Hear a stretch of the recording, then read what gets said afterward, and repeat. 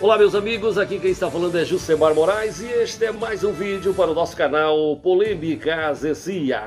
E a pastoreca Renálida Carvalho está com a sua vida bem complicada. Ela que está na mira da Polícia Federal por é, lavagem de dinheiro e associação a organizações criminosas. Você quer ficar por dentro disso? Sabe o que está acontecendo, o que ela está praticando e que o povo não vê?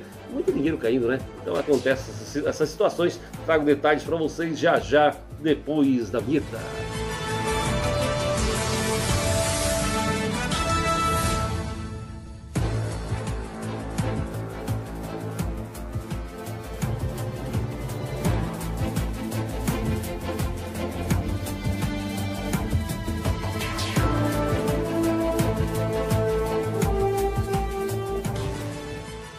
Muito bem, estamos de volta para todo o Brasil. Obrigado você que está conosco. Vem para cá, você que ainda não é inscrito e você que já é inscrito, tem o meu forte abraço. Seja muito bem-vindo. Essa casa também é sua. Estamos rumo aos 30 mil inscritos. Eu quero muito contar com vocês para alcançarmos essa marca. Nosso outro canal no YouTube está aí, Notícias Gospel. Todos os dias estão lá às duas da tarde com informações jornalísticas para vocês. Link na descrição do vídeo. E na descrição do vídeo, meu Instagram e meu Kawaii. Lá no Instagram, eu lhe atendo no direct, né? E se eu, a minha assessoria estará lhe atendendo, ou, ou eu, dependendo da situação, mas lhe atenderemos com o maior carinho. Link na descrição do vídeo. Você me segue lá, eu sigo você de volta. Prezados, a Renálida Carvalho parece que está dando tiro no próprio pé. Essa mulher que é uma charlatona, né? Uma mulher totalmente fora de qualquer contexto cristão. Uma mulher totalmente ateia, totalmente endemoniada, endiabrada, totalmente uma mulher com espírito de Jezabel, uma mulher com, como o pastor falou, uma prostituta é, espiritual, né? E agora ela está na mira da Polícia Federal. Tudo isso porque ela está associada, fazendo lavagem de dinheiro e associado a uma certa organização criminosa. E vamos ler aqui o texto que nos passou aqui, o nossos amigos lá do Fuxico Gospel, e diz o seguinte, para você entender melhor. A pastora Renálida Carvalho, pastoreca, né? Extremamente popular nas redes sociais e com seu ministério itinerante, foi alvo de uma grave acusação nesta quinta-feira, agora dia 28. De acordo com o perfil reserva do Instagram da polêmica DAI é, alguma coisa aqui, Renálida lava dinheiro para a advogada influencer é, Diolane Bezerra, que recentemente foi alvo de uma operação da PF. Gente, isso aqui é coisa séria, né? É, a pessoa se envolve com muito dinheiro, pediu Pix agora, Pix de, de 42 reais, é, Pix para fazer oração pelo povo. Essa mulher realmente ela precisa ser barrada urgentemente, né?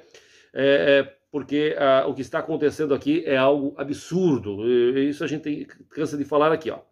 Veja bem, é, eu vou ler aqui o que está aqui na, nesse texto aqui, ó, e vou botar na tela para vocês, porque é um texto oficial que chegou é, para nós através aí do Fuxico Gospel. Diz o seguinte, ó. O texto é bem complexo, então tem palavras que eu não vou pronunciar, mas está no texto para vocês ler, tá? Não é apenas por isso. Ela lava dinheiro para o pontinho. A faculdade dela foi paga para o pontinhos. Aí é que fala aqui Marcolinha, né? Ela, aliás, ela depositou grana alta em conta é, da filha de Marcolinha. Ela é sobrinha da esposa de Marcolinha, né? Aqui repete de Marcolinha. E o Pontinhos pagou a faculdade dela e da Daiane.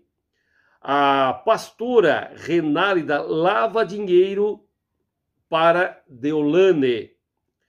A pastora Renálida lava dinheiro para. Aliás, a Beatriz Navarro lava dinheiro para Deolane.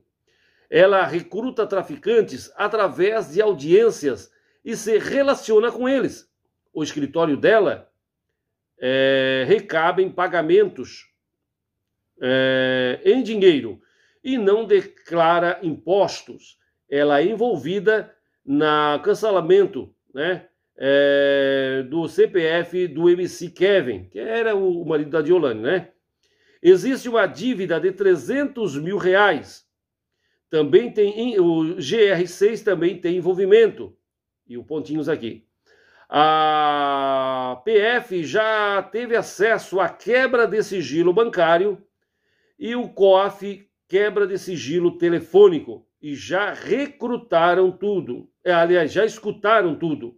Os inquéritos estão sendo feitos e as investigações continuam. Ela vai ser detida antes das eleições.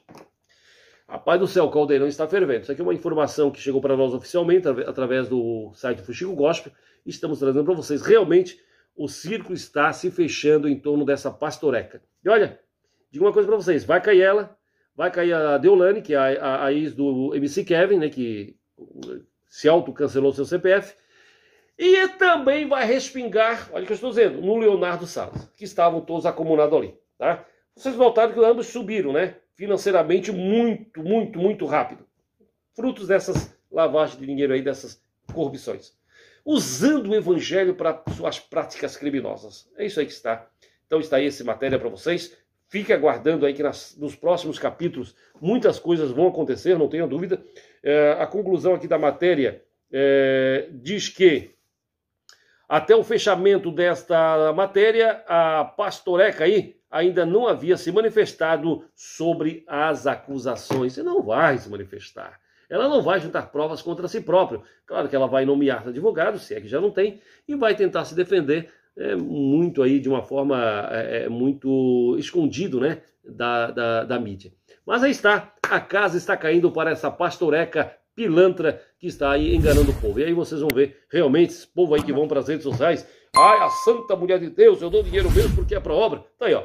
financiando ações criminosas dessas pastorecas aí. A casa vai cair, as máscaras estão caindo.